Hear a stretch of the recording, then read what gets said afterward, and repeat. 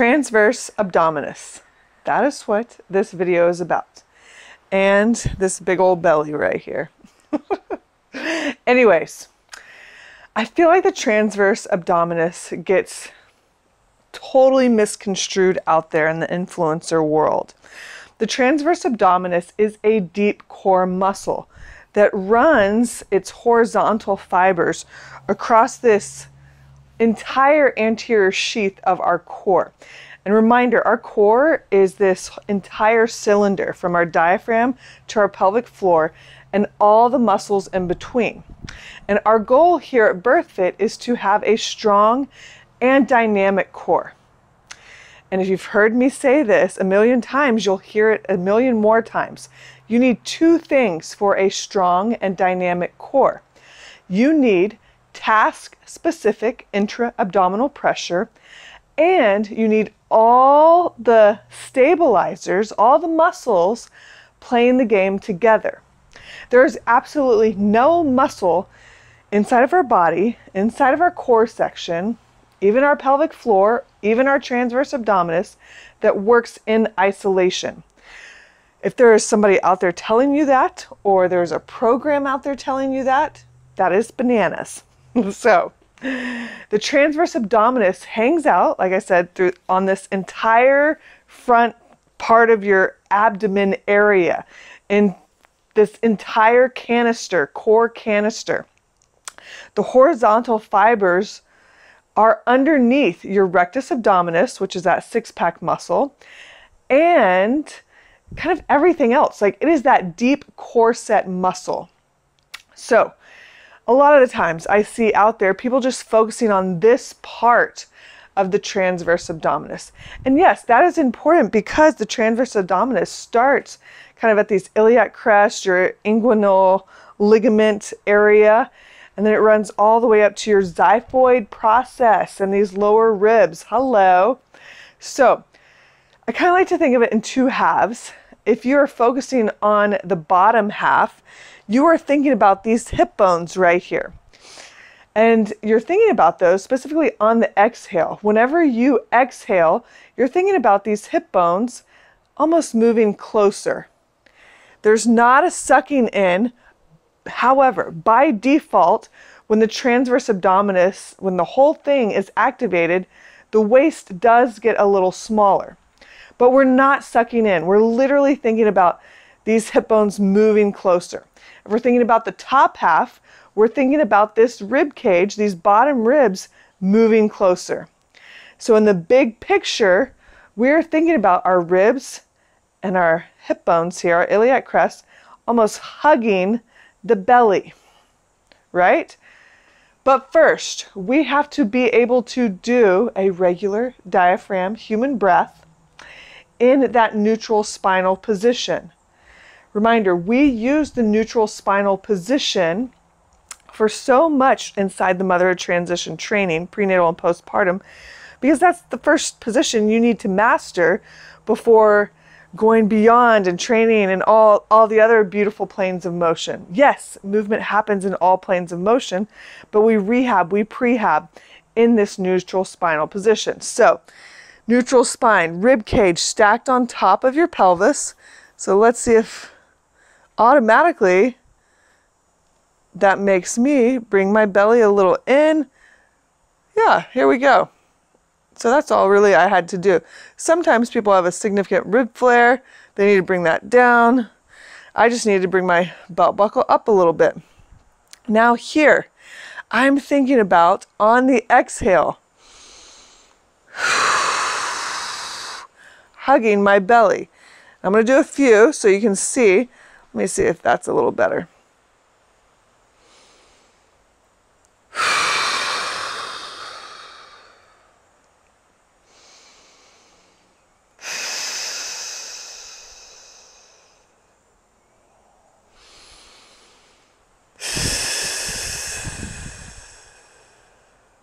you can see this muscle activation happening on the side. Let's see a few from the front. Let me find my spinal neutral. Inhaling, my rib cage is expanding.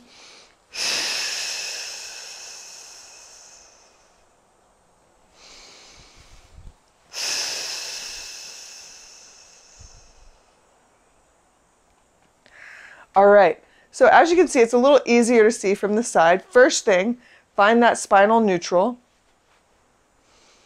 Make sure you can diaphragm breathe here. Second thing, now you're starting to cre create that stability breath.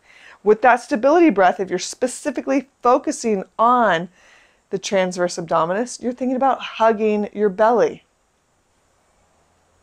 There.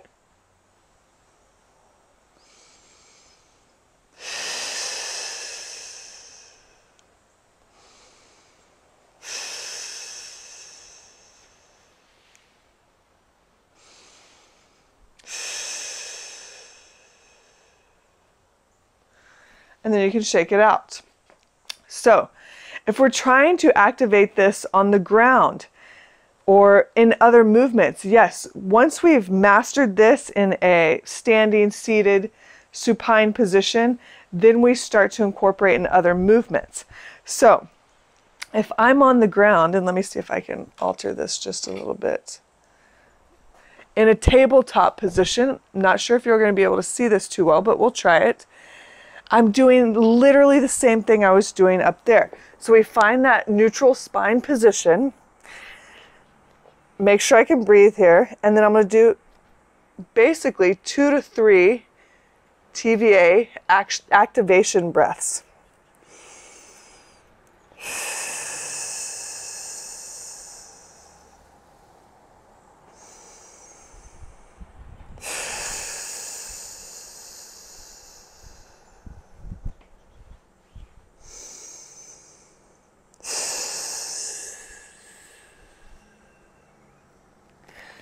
Now, let me grab a little weight. Same thing. If we're adding load, we want to find that neutral spine position. Do.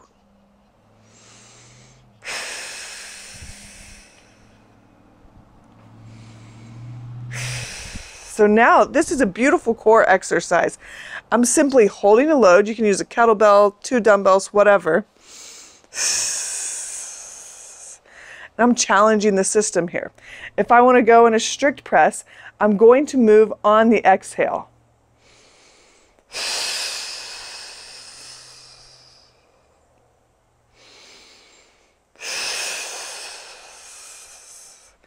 And I'm thinking about my belly being hugged by these hip bones and the lower rib cage. Now, a few things. If you want to go to the ground, one of the most basic um, TVA kind of activation exercise is that heel slide. And you might have seen this. So we're here. We're finding that breath.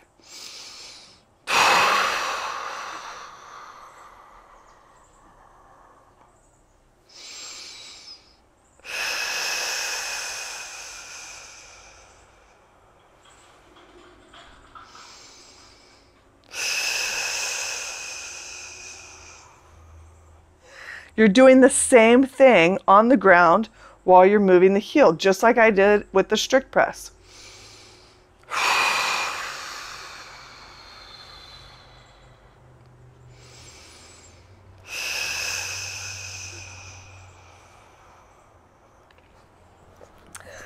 All right, so try it out. Like I said, first things to master are the neutral spinal position. Then making sure you can diaphragm breathe in that position. Then you're thinking about creating that stability breath with the focus on the transverse abdominis, which is what we're focusing on today. It might be a different muscle that you need to focus on for yourself, but um, we're talking about the TVA today. After that, then you start to incorporate it in poses and movements. Specifically, we utilize the BirthFit Basics poses and movements. From there, then you can add load. So try it out. Remember, it's not a sucking in. It is literally, these muscles are hugging your belly, hugging your baby. All right, let me know if you have any questions.